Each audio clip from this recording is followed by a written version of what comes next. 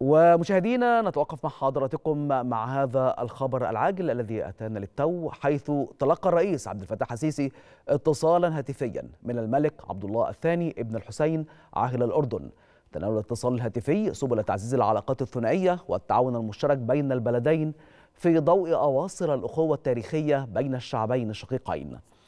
كما تضمن الاتصال أيضا التباحث بشأن مستجدات الأوضاع في قطاع غزة وتم استعراض الجهود المكثفة الرامية لوقف إطلاق النار. وناقش الزعيمان جهود إنفاذ المساعدات في ضوء التدهور الكبير في الأوضاع الإنسانية في القطاع كما تم تأكيد الرفض الكامل لتصعيد العمليات العسكرية لتداعياته على أمن واستقرار المنطقة ككل.